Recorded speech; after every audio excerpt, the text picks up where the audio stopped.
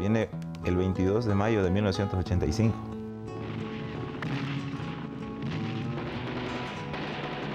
Íbamos con, qué sé yo, con machete en esta mano y con el fusil acá. Eh, son cosas, cosas de las que yo no quisiera desearle a ningún pueblo del mundo. Por el natalicio de Augusto Sandino y recordando la revolución sandinista, El País de la Mitad presenta un programa especial. Conozca la vida de Julio Cruz.